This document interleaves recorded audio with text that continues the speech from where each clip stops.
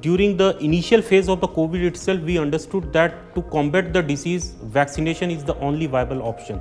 Being second most populated country in the world, the manufacturing capability was a challenge. mRNA was already in the development with Gennova, so we thought of employing the platform for our own nation, our own country, and we developed the vaccine. Even before COVID itself, we were very much focused that we will always develop the vaccine which should be based on the self-replicating mRNA platform. It should be safe, it should be efficacious, it should be very rapid in the development and also it should be the cost effective. So mRNA by nature is a transient molecule and it offers all these features together. For developing any kind of biotherapeutics or vaccine, the analytics or QC plays a very important role.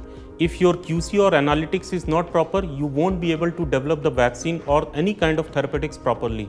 So the analytics or the QC method should be compatible for both GMP and non-GMP setup. And for identity testing, we have used the Sanger sequencing, which is a gold standard method. And as of today, the Thermo Scientific has uh, commercialized these Sanger technologies across the globe and there are a lot of uh, machines which are available compatible with those platforms. We do have a 24 capillary system in our lab and we use that particular system for uh, sequencing our mRNA. This system is highly robust, it's uh, 21 CFR compliant and data integrity was never a question with this system. And it, this machine is very much user friendly.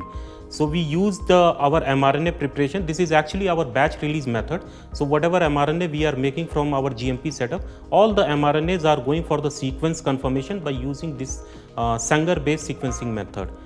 Apart from the sequence identity, we have also used the qPCR method to identify the impurities. We have also used the dPCR that is digital PCR for uh, uh, to estimate the concentration of the mRNA. Apart from these, we have used HPLC, we have used fragment analyzer, MS and all these. So basically, I would say we have taken an orthogonal approach to uh, justify the quality because quality is something that determines the efficacy and safety of, of your product. Now for concentration estimation, digital PCR is the most advanced and most sensitive technology that Thermo Fisher is offering there are a lot of other kits or a lot of other platforms uh, available, but dPCR is the most accurate and most uh, reliable uh, method I would say available and it is always a method of choice for all the developers. We have made the history I would say. We are the first one in the globe who have launched the mRNA based thermostable self-replicating uh, vaccine. By utilizing these novel technologies, we are doing something uh, respectful to the society because everyday research is getting translated into some product which is adding value to the mankind.